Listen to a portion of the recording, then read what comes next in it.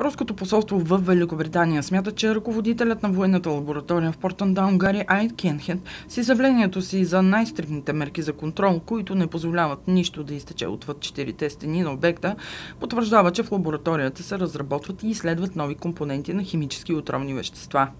Ние обърнахме внимание на думите на ръководителя на лабораторията.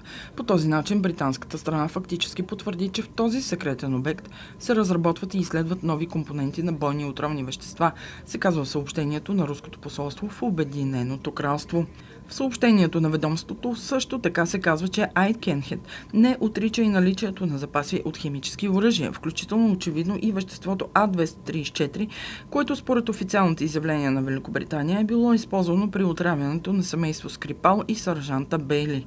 От посолството подчертаха, че Руската федерация ще изисква от Обединеното кралство да разкрие програмата за разработване на химическо оръжие. Съобщението на руското ведомство гласи, че тези изявления не оставят на Русия друг избор, освен да изисква с обновена сила пълната информация за хода на разследването, а също разкриването на програмата за разработване на бойни отровни вещества в Портондаун.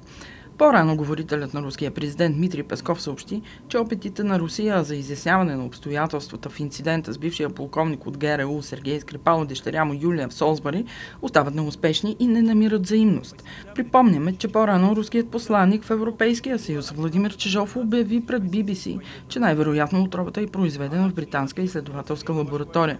Той отново повтори, че Москва няма нищо общо с отравеното в Солсбари на Скрипал и дъщеря му. Чижов тогава посочи и възможен вариант на лаборатория. Само на 12 км от Солсбари се намирала лабораторията в Портандаун.